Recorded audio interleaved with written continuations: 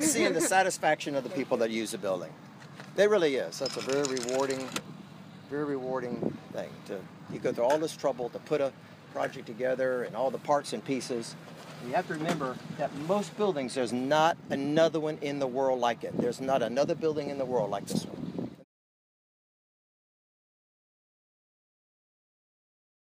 But when you build a building, it's forever, pretty much forever. So you got to get it right. Think through it, design it right, spend the time to work through it, and it's it's it's very rewarding. So.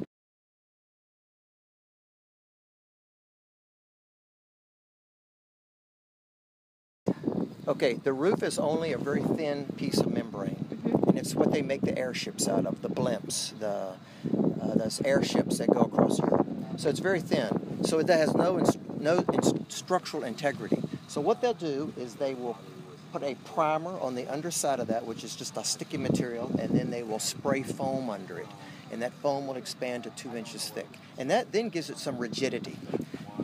They'll let that cure a little bit, and then they will take their, con- their reinforcing rods that are on the inside, and then they will bend those up, and they will tie other reinforcing rods in it, and then they take swimming pool concrete, which they call shotcrete, and they just spray it, and they start at the bottom walls, then they work their way up.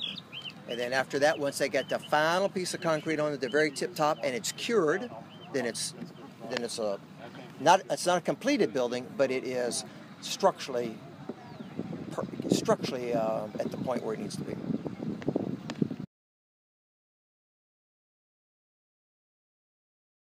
All, uh, all the thousands of parts and pieces that have to go together, and everything's down to that much. It's pretty incredible that you can, good contractors, good owners, and good architects and engineers can put it all together.